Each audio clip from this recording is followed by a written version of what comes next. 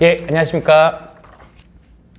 예, 저는 가장 현실적인 재테크는 창업이다. 예, 부제로 개미들이 어, 개미라고 표현될지 모르겠습니다. 예, 여러분들이 네. 어, 주식이나 부동산 그리고 코인 등의 불확실한 정보에 빠져서 네.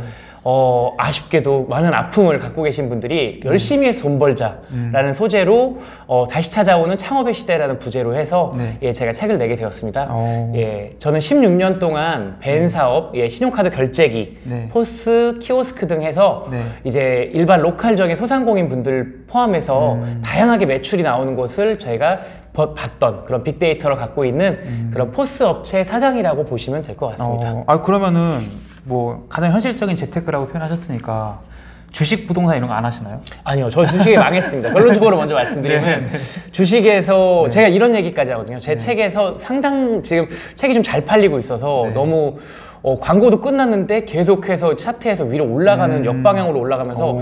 너무 주변에 축하를 많이 받고 있어요. 네, 네. 근데 받을 때마다 제가 그렇거든요. 아, 모 전자가 네. 땡땡 전자가 내 주, 아. 인세를 다 갖고 가고 있다. 네, 네, 이렇게 네. 우스갯소리를 하고 있는데 음. 저 역시도 주식에 좀 물렸고요. 음. 부동산은 현재 8월 초 네. 기준으로 이렇게 뭐 여러 개를 좀 해서 그런지 네. 그래도 나쁘진 않았지만 네. 그렇다고 또 많이 좋, 좋지도 않은 음. 다소 좀 애매한 상황입니다. 열심히 일해서 돈 버는 게 제일 아. 빠른 길인 것 같습니다. 그러니까 이제 주식 부동산 다 해봤는데 결국엔 창업이 답이더라. 그렇죠. 네. 사실은 뭐 그럼에도 더 좋은 정보 있어서 한다 그러면 저 역시도 할 것 같아요. 음. 근데 하지만 사람이 기본적인 현금 네. 그리고 또 자기가 갖고 있을 만한 확신적인 그런 어느 정도의 수입이 있지 않는 이상 네. 너무 불안해지고 음. 또 악순환이 반복될 수 있을까봐 네. 사실은 한 가지에서 두세 가지 음. 최근에는 좀 적은 돈이라도 좀 엔잡을 하자 이런 류로 많이 강의를 하고 있습니다. 음. 그럼 이제 구체적으로 어떤 창업들을 하신 건가요? 창업을 네. 제가 했었던 거는 네. 이제 저는 이제 수성정보라고 하는 POS 회사를 운영하고 있고요. 어. 현재까지 그 일을 16년 동안 하는데 네. 이 업이 사실은 일반적인 신용카드 결제기 음. 또 POS 시스템 이런 부분들을 취급하다 보니까 네. 이 이런 걸 쓰시는 분들 모든 자영업자라든지 아. 소상공인 분들이 네. 갖고 있는 애환을 다 알게 되고요. 음. 가장 큰 거는 어 이거를 아마 피디님 아실지 모르겠는데 한 네. 건 외부에서 나가서 긁을 때마다 네. 저희 같은 회사로는 관리하고 있는 그 포스 회사로는 네. 약 50원에서 100원 정도의 수익이 생깁니다. 음. 예, 그러다 보니 여기에 매출이 얼마인지 네네. 이곳이 왜 성장하는지 음. 어, 많이 뜨게 되면 저희 회사도 수익이 많아지는 그쵸, 구조다 그쵸. 보니까 네. 관심이 없을 수가 없겠죠. 아. 그래서 그런 부분들을 진행하면서 네. 거기에 이제 포스에 네. 어, 세무 시스템까지 같이 하는 그런 프로그램들도 개발을 하고 네. 예, 자, 자영업자분들이 매출, 매입까지 같이 한 번에 아는 거를 16년 동안 봤으니 약한 2만 명 넘는 창업자들의 네, 그런 희노애락을 같이 보다 보니까 네. 그 거기에는 뭐 일정한 성공 공식 같은 것들이 있고 잘 버시는 분들은 이런 쪽으로 돈을 잘 벌더라 하는 네. 것들을 토대로 책을 썼습니다. 아 그러면은 지금 그 포스라는 게 우리 신용카드 결제할 때그 단말기를 얘기하는 건가요? 예, 단말기는 그냥 소위 말해 단말기, 카드 체크기, 네. 카드 결제기 이런 단어를 쓰고 있는 거는 네, 네. 금액을 누르고 결제하는 그쵸. 기계고요. 네. 그리고 조금 더 큰 컴퓨터 기계가 네. 터치를 통해서 네. 테이블을 누르고 주문 누르고 네, 네. 이런 부분들이 있잖아요. 네. 예, 그런 부분들은 POS라 그래서 아. point of sale의 약자로 음. 예, 매출이 일어나는 시점이라 그래서 음. 그 기계는 POS 기계라고 흔히 말을 하고 있습니다. 이제 그럼 이제 POS 기기들을 일종의 이제 무료로 주는 건가요? 그럼 아니면 사- 파는 건가요? 어, 이거는 네. 여러 가지 임대 전략 방식이 있는데요. 네, 네. 하나는 돈 주고 파는 방식이 있고요. 음. 예, 두 번째는 임대 렌탈로 쓰는 방법이 있고요. 네, 네.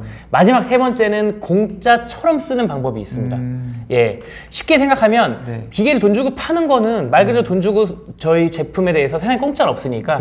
제, 제작되어 있는 기계를 얼마만큼의 비용을 주고 사고 나머지 네. 마- 마진을 취하는 체, 체제고요. 네. 두 번째는 갖고 있는 금액을 임대 렌탈 비용, 음. 월 리스료, 그러니까 네, 네. 이제 일부 수수료까지 부담해서 저희가 네. 공급해드린 방식이고요. 음. 마지막 공짜처럼 쓴다는 거는 네. 많은 양의 카드 건수를 네. 가령 아까 50원, 100원 정도 남는다고 했는데 네. 그 부분이 어마어마하게 많다. 네, 네. 카드 사용량이 많다. 그러면 저희가 받는 양이 상대적으로 많으니까 수익이 많으니까 그 부분에서 기계는 그냥 공짜로 드리겠다. 어. 뭐 일반적인 이런 임대 렌탈의 구조에는 그런 부분이 굉장히 많다고 보여져요. 뭐 가령 커피 자판기 같은 경우도 네네. 예전에는 커피를 많이 먹 마시면 소비, 손님들이 많이 먹으면 커피를 공급해 주는 거에 대한 대가로 기계를 무료 임대, 네. 임대해 주듯이 비슷한 논리라고 보시면 되겠죠. 아 그러면 이제 그 매출의 크기하고 그 거래 빈도수는 좀 다를 것 같은데 맞습니다. 업종별로 어떻게 좀 특징이 있나요? 과거에는 네. 과거에는 일정 부분 정액제의 금액이었어요. 그러다 보니까 작은데 많이 긁는 곳들 있잖아요. 음, 네. 가령 이제 마트라든지 네, 네. 편의점이라든지 네. 그리고 과거에는 군대 PX가 그렇게 가- 굉장히 괜찮았어요. 아, 예. 그 이해 가시죠? 예. 이제 카드를 많이 긁으면 네. 그러다 보니까 그- 그랬었는데 이게 갈수록 정권들마다 사실은 이제는 거의 핵심 키워드로 표를 받아야 하는 곳이 음. 소상공인이다 네, 보니까 네, 네. 이 소상공인 분들의 가장 큰 애환은 내가 아무것도 안 했는데 여기서 갖고 가는 과도한 수수료가 너무 많다 그쵸. 음. 해서 수수료를 계속 줄이다가 보니까 지금은 이제 정액제 플러스 정률제로 음. 같이 하고 있는 게 현재 형국입니다. 네. 그래서 이제 많이 긁는 것도 네. 금액이 많은 게 좋을지 네, 네. 건수가 많은 게 좋을지 네. 그러니까 한 번에 큰 금액을 긁어주는 게 좋을지 네. 아니면 작은 금액을 여러 개 긁는 게 좋을지 음. 일단은 무조건 많이 긁어야 됩니다. 아 그러면은 그 세 가지 임대 임대 형식, 그 판매 예. 방식이 있는 거잖아요. 예. 보통의 그러면은 그 가게 주인분들, 소상공인 분들은 어떤 형태를 선호하시나요? 3번을 가장 좋아하죠. 삼 번? 공짜라고 아. 하는 걸요. 하지만 저는 개인적으로 3번을 많이 말씀드리진 않습니다. 음, 왜냐면 나중에 네. 너 사기꾼 아니냐 이렇게 네. 얘기하시는 경우들이 많아요. 왜 왜?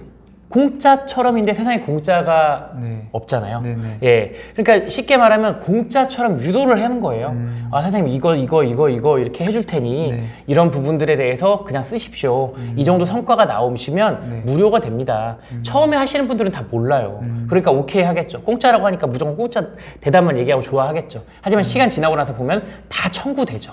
그걸 그만큼의 페널티를 요구해서 그 정도 건수가 안 나오게 되면 네. 자동이체로 돈이 더 나가게 될 수밖에 없는 시스템 이 많이 있습니다. 그러다 보니까 처음에 공짜라고 하지 않았냐. 네. 나중에 싸우게 되면 이 사기구나 하는 경우들도 아. 있어서 3번을 별로 권하지는 않고요. 그, 그럼 이제 그게 최소 건수가 이제 정해진 건가요? 예, 최소 건수를 정해진 곳들도 있고요. 네네. 아니면 이제 그 회사에서 정하는 규칙마다 좀 다릅니다. 음, 예, 그래서 그 부분에 대해서는 네.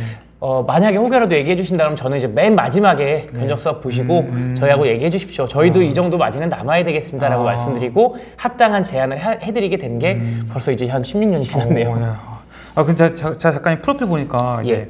BBQ 치킨 대학에서 전문 강사로 활동하셨더라고요. 예, 그럼 그 치킨 대학이 이제 BBQ 이제 점주분들 교육시키는 곳이죠? 맞습니다. 그럼 거기서 어떤 일을 하셨던 거예요? 예, 여주에 있는 치킨 대학에서는 다양하게 교육을 네. 많이 시켜주셨는데 거기에 네. 이제 초빙 강사로 많이 가서 활동을 했었었고요. 음, 어, 당시에는 네. 어, 세무와 그 세금 절약을 해주는 그런 시스템과 포스 그리고 이- 그 자영업자들의 마케팅에 대한 의뢰를 받아서 네네. 그 부분에 대한 강의를 진행을 했었습니다. 음.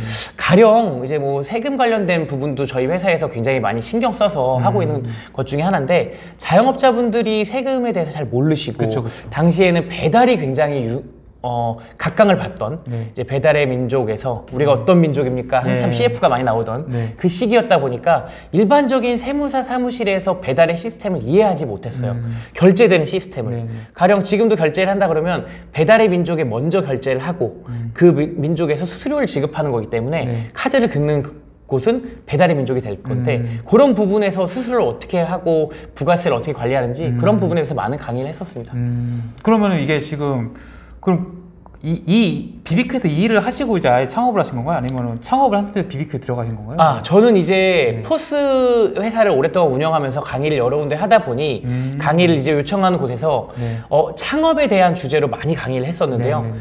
소위 말해서 그냥 딱 담당자들이 그랬어요. 사기꾼 같지 않아서 좋다. 음. 두루뭉실하게 그냥 있는 게 아니라 모든 게 다 사례를 위주로 음. 해서 얘기해주고 네. 현실적인 강의를 해주니까 좋다라고 얘기해서 각종 섭외하는 곳에서 그렇게 하다 보니까 아. 여러 군데서 강의를 좀 하게 됐었던 것 같습니다. 그러니까 원래 이제 포스 관련 사업을 하셨고 그러다 보니까 이제 관련 기업에서 초청이 돼서 강의를 하신 거군요. 맞습니다. 그렇게 하고 또 소개 소개로 많이 들어왔었는데 음. 네. 지금도 강의하면서 제가 하고 있는 게 뜬구름 잡는 듯한 음. 뭐 이제 뭐 300만 원으로 10억을 벌었어요. 네. 뭐 해서 이런 강의 정말 싫어하고 현장에서도 네. 정말 시- 극혐하는 게 네. 현실적이지 않은 걸로 물론 수익도 좋고 예 유튜브로 인한 시청률이라든지 광고 수익도 좋고 여러 가지로 좋지만 네. 많이 되는 얘기를 해서 일반적인 분들한테 꿈과 희망을 실어주더라도 현실적인 얘기를 해야지 네. 그렇지 않고 해서 결론은 다 부동산 재테크 몰빵해가지고 영, 영끌까지 해서 성공한 분들의 사례는 높이 사고 정말 좋은 거긴 하지만 대중이 봤을 때 꼭 본받아야 될- 되겠다 하는 그런 부분은 아닌 것 같습니다. 그럼 이제 구체적인 한번 얘기를 들어보도록 하겠습니다. 일단은 책에서 돈 한 푼 안 들이고 창업하는 게 가능하다. 이런 예. 말씀 하셨더라고요. 예. 진짜 그렇습니까? 아, 또 현실적으로 그렇게 얘기를 많이 들었으니까 제가 네. 그렇긴 한데요. 네. 어, 일정 부분은 가능하다고 봅니다. 예. 일정 부분이란 건 뭘 얘기하는 거죠? 예. 열정과 노력이 그만큼 있으면 가능하다고 보여지죠. 가령 이렇게 보시면 될 것 같아요. 음. 네. 컴퓨터로 관련돼서 뭔가 일을 조금이라도 해야 돼요. 네. 근데 엑셀을 모르고 네. 한글을 모르고 네. 하다못해 인터넷 익스플로러라든지 크롬이라든지 네. 그런 부분들을 모르고 네. 창업을 한다라고 하면 말이 될까요? 말이 안 되죠. 사실 말이 안 되죠. 네, 그런 부분이죠. 쉽게 말하면 이제 본인이 뭐 인스타그램을 여유 있게 하고 네. 많이 소통을 하면서 지내고 음. 그런 분들이라면 충분히 가능한 얘기지만 네. 어, 너무 확연하게 아무것도 접해 보시지 않은 분들에게 음. 하는 부분은 현실적으로 불가능하다. 그 부분은 말씀드리고 싶고요. 네. 어, 저는 요새 그렇게 강의를 많이 하고 다니고 있는데 네, 네, 네. 악어와 악어새의 창업이라는 음. 주제로 많이 얘기를 하고 있습니다. 쉽게 말하면 악어는 네. 대형 플랫폼이에요. 네. 예, 제가 주구장창 주창 얘기를 했었던 3년 전에 가장 큰 악어가 될 거다라고 했던 게 당근마켓이고요. 음. 예, 지금은 뭐 당근마켓, 뭐 크몽, 음. 뭐 숨고, 뭐 클래스 101 이런 사이트들부터 당연히 해야 되는 뭐 인스타그램이나 페이스북이라든지 음. 이런 부분, 틱톡이라든지 이런 부분들이 대형 악어라고 생각하고요. 네. 우리들 여기 계시는 여기 시청하시는 시청자분들이나 이런 분들은 악어 새가 돼야 된다라고 얘기를 하거든요. 음. 대형 플랫폼에 사람들이 많이 모이는 플랫폼은 이유가 있고 음. 그 플랫폼에 가보면 뭔가의 틈이 있을 거다. 그 사람들의 가려운 부분을 긁어주는 그런 창업을 하자. 네. 그게 바로 제가 말씀드리는 돈 한 푼 들이지 않는 음. 악어와 악어새의 창업이라고 생각합니다. 그럼 좀더 구체적으로 그런 SNS 활용해서 어떻게 할 수 있는지. 예, 당근마켓으로 제가 얘기를 했었던 거는 네네.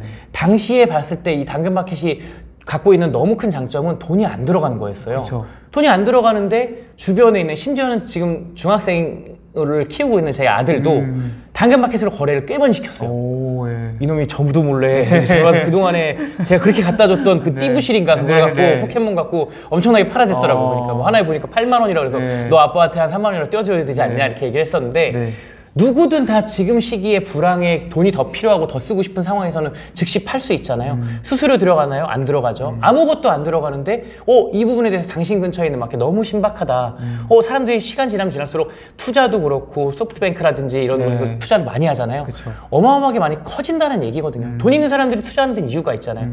어, 크, 크지 않을 것 같다? 절대 투자 안 하거든요. 음. 그러다 보니까 이렇게 커진다 그러면, 어, 분명히 그 당시에 뭐 가전제품이니 뭐니 이런 것들도 그렇고, 용 달만 여기서 갖다가 팔아 보셔라. 네. 여기서 배송만 해서 주변에서 해가지고 친절하게 하고 후기 잘 받고 팔아 보셔라. 오. 라고 얘기했던 게 지금 현실로 돼서 네. 제가 그 당시에 강의하셨, 해드렸던 분한테 네. 얘기를 드렸을 때 그분이 자기 아버지한테 여자분이셨는데 네. 조금씩 부업 삼아서 한번 해볼까요? 라고 했다가 감사하다라고 메시지도 왔는데 음. 그런 사례처럼 제가 봤을 때는 먼저 빨리 선점하고 치고 나가는 그런 전략이 필요하다고 생각합니다. 그럼 이제 그 당근마켓에서 그 화물차를 갖고 계신 분한테 용달을 해봐라 이렇게 말씀하신 건가요? 지역에서 네. 가령 이런 거죠. 지금 이제 작가님께서 만약에 물건을 팔려고 하세요. 네. 근데 이제 뭐 더워지니까 에어컨을 팔려고 네. 하는데 에어컨하고 실외기하고 하려면 일반적인 안 소형차에서는. 옮- 옮기기 어렵잖아요.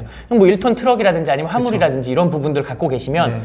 동 지금 뭐 현재 서울 시내 무슨 동이라고 쳐보면 그 주변에서만 계속 왔다 갔다 왔다 갔다 하는 수요들만 잘 잡아도 음. 제가 볼 때는 네. 비용이 적지 않을 것 같은데 그러니 이 부분에 대해서 당근마켓을 미친 듯이 팔아봐라 아. 미친 듯이 당근마켓에 빠져봐라 네. 사보고 파보, 팔아보고 사보고 팔아보고 계속해서 해봐라라고 하면 저는 지금도 구매 대행이라든지 아니면 뭐 직구라든지 국내에서도 네. 어디에선 뭘 팔고 당근마켓은 대신에 두 개밖에 안 되잖아요 네. 있는 곳 인증되는 그쵸, 곳이 그쵸. 그러다 보니까 내가 사고 싶은 것들은 여기저기에서 다 팔 수도 있을 텐데 그럼 빠르게 사서 보내주는 그런 처리 시스템까지도 할 수 있을 거다 음. 그 어플에 미친 듯이 빠져봐라. 네. 예, 그렇게 하다 보면 그 어플에 답이 있을 것이다라고 얘기를 하고 다녔습니다. 아, 근데 뭐 지금한테 사실 말씀하신 대로 좀 보편화됐잖아요. 예. 뭐 가구 같은 거 올려도 뭐 댓글 달리기도 하고 뭐 그렇죠. 중고나라에서도 그런 형태 그렇죠. 보이잖아요.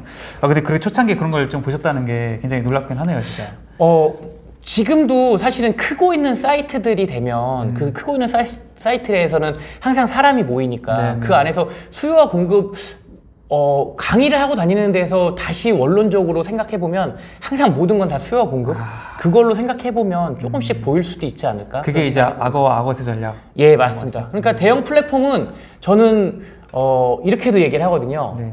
조선시대의 머니로드라는 책이 최근에 출간된 게 있는데 음. 그걸 보면서 제가 그거를 왜 했냐면 네. 강의를 많이 다니는데 정말 좀 더 좋은 발상으로 강의를 할 수 있는 방법이 없을까라고 생각을 네. 하다가 조선시대에도 설마 플랫폼 같은 게 있을까라고 오, 했을 때 네. 거기 나오거든요. 네. 그러니까 마포에서 네. 사람의 전국으로 한강으로 다 배가 그쵸, 들어오면 그쵸. 마포가 중심이 되잖아요. 네. 중심이 되는 데서 그 당시에 상인들도 하나 주고 하나 얻는 음. 그런 시스템을 제안을 하는 거예요.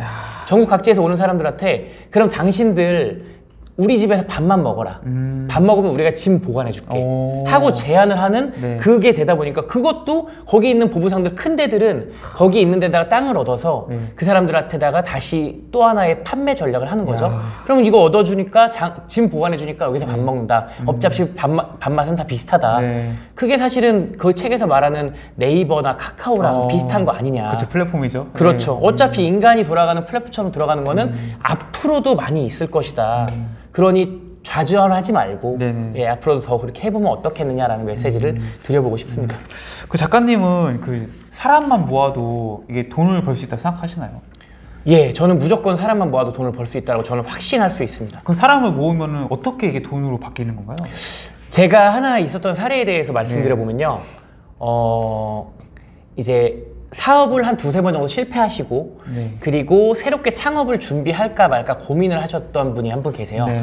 어, 남자분이셨는데 근데 이분이 이제 결혼을 하시게 될 것 같았고 결혼을 하다 보면 왜 하려고 하다 보면은 마음이 남자들이 더 마음이 조급해지잖아요. 네네네. 조급해지다 보니까 뭐 할까 이렇게 궁리를 하다가 스크린 골프 사업을 할까? 음. 라고 얘기를 해 스크린 골프 얘기했을 때 제가 얘기한 게 사적으로 이제 형님 동생을 해서 네. 형 택도 없는 소리 하지 마 말도 안 되는 소리 하지 마 그거 하- 해가지고 네. 형 무조건 망해 네. 그걸 하지 말고 시기를 기다려 그랬더니 왜나 그 당시에 모았던 1억 5천이 있어 음. 스크린 골프가 하나 하려면 방 하나당 1억씩은 잡아야 돼요 오, 예. 괜찮게 하려면요. 네. 물론 그렇지 않은 데들도 있죠. 중고품 쓰는 데도 있고. 네. 하지만 손님들이 그런데 갈까요? 더 좋은 데가 널려 네. 있으니까. 그렇죠. 그러다 보니까 그러면 방 한 개 반 갖고 한다는 소린데 대출 받고 뭐하고 해서 네. 방세 개 갖고 돌려서 돈이 될 것 같냐. 제발 좀 현실을 보고 얘기를 해라라고 얘기해서 제가 제안했던 게 골프랑 관련된 동호회를 만들어서 네. 예, 네이버 밴드나 아니면 그런 데 많이 홍보를 해라라고 얘기를 했어요. 음. 그래서 동, 동호회를 왜? 그래서 제가 얘기했던 게 동호회의 총무를 자처해서 네. 동호회에서 각기 활동을 꾸준하게 6개월, 1년 동안 해라. 네. 그리고 장소라든지 사람들이 좋아하는 곳이라든지 이런 곳을 본인이 무료 대관하고 본인이 먼저 알아봐서 왜 총무하려면 모든 굳은 일다 해야 음. 그쵸, 되잖아요. 그쵸, 예. 그런 분들에 대해 그런 부분들에 대해서 여러 가지 해보고 공은 어떤 걸 좋아하는지 사람들이 어디에서 하길 좋아하는지 외부 골프장을 어디를 선호하는지 음. 어디가 단체 예약했을 때 어디가 잘 받아주는지 어디가 스크린 골프를 좋아하는지 스크린 골프 갔을 때 어떤 안주를 메뉴를 좋아하는지 네. 이런 부분들에 대해서 계속 6개월 1년 동안 하면서 모든 걸 다 대행 처리해라 그랬더니 어 사람들이 조금씩 많아졌던 거예요 단 확실하게 그 모임의 컨셉을 잡아라 음. 사업가들의 모임 음. 그리고 예쁜 여성분들을 반드시 최고로 우대해줘라. 음. 그럼 남자들이 따라올 네. 것이다. 그 원칙에 맞춰 성실하게 1년 가까이를 정말 열심히 하셨던 분이 계세요. 음. 사람이 처음에는 8명, 7명이 시작했다가 좋아지고 좋아지고 좋아지면서 나중에는 제가 한 3년 지나고 나서 봤을 때 나중에 120명까지 늘었거든요. 네. 사람이 많아지니까 그 안에 니즈가 계속 생기는 거예요. 네. 그 골프에서는 뭐 했냐면 이 형도 처음엔 이해- 못 하다가 네. 골프 공을 공동 구매하는 걸 한번 제안을 했어요. 어, 예. 그때 얼마씩 남겨야 될까라고 저한테 물어봤어요. 네. 그래서 제가 딱 이랬죠. 공 하나당 천 원만 남겨라. 어. 많이도 말고 공이 공 하나 얼마, 얼마죠? 보통은 저렴한 공은 만 오천 원 정도에서 한만 육천 원, 만 칠천 원 정도 하고요. 6% 7% 그렇죠. 예, 맞습니다. 비싼 공은 5만 원에서 아주 비싼 공은 7, 8만 원까지도 하는 공이 있지만 네네.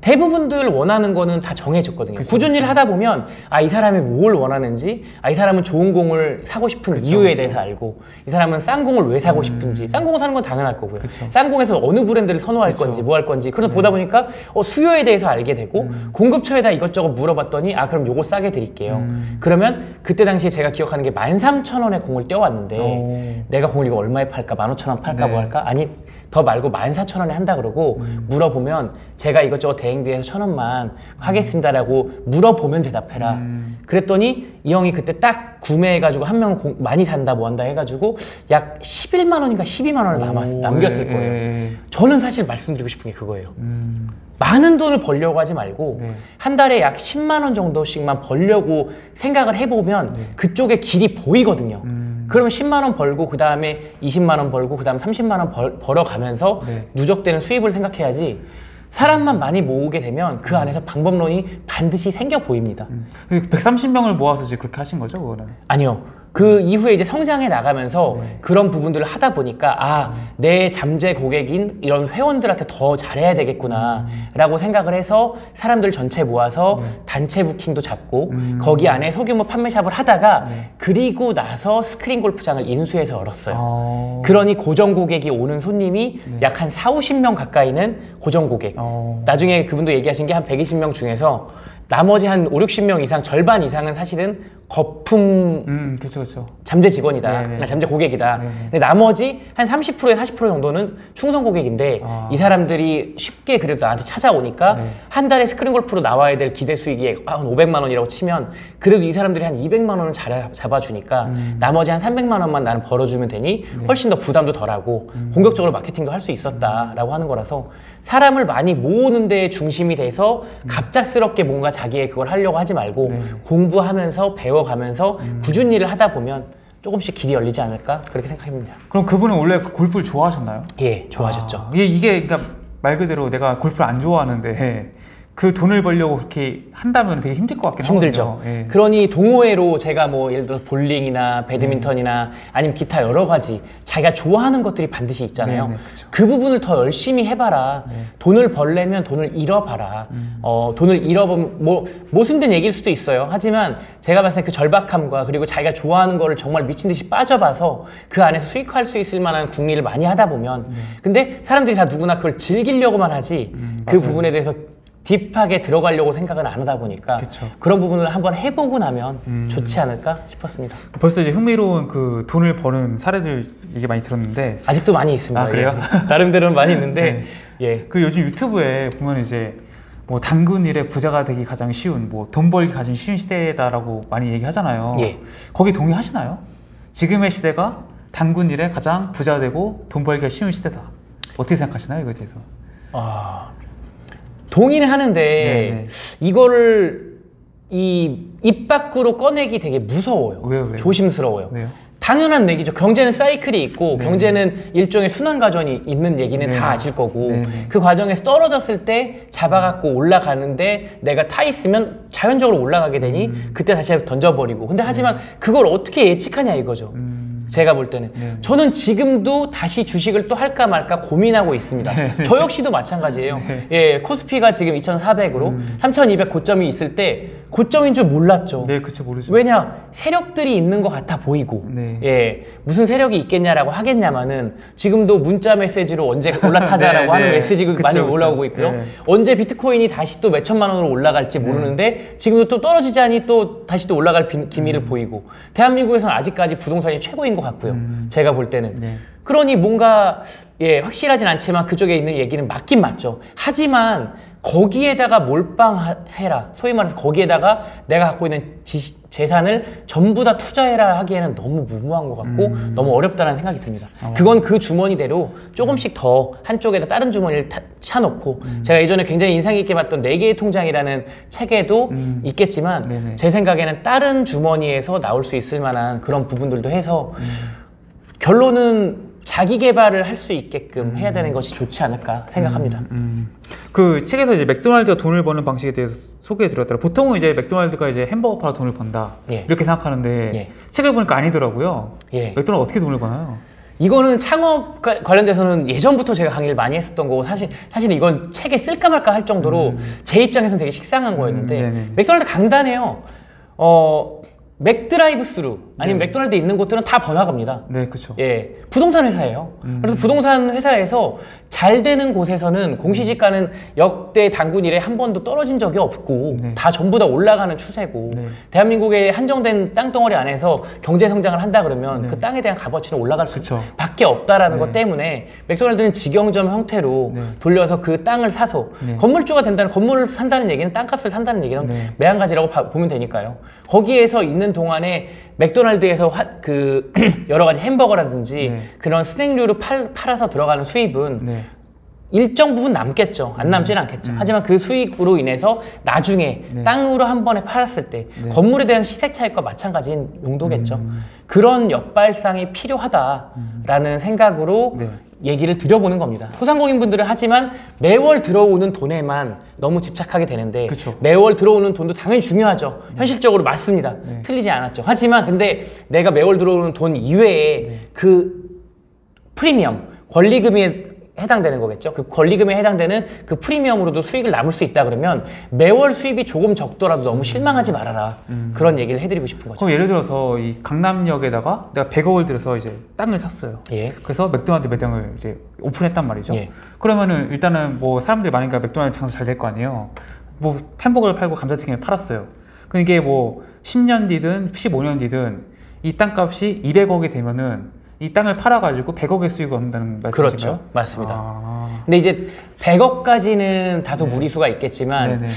요걸 한번 제가 예를 들어 볼게요. 네네. 제가 2021년 어, 8월, 7월경 여름이니까 네네.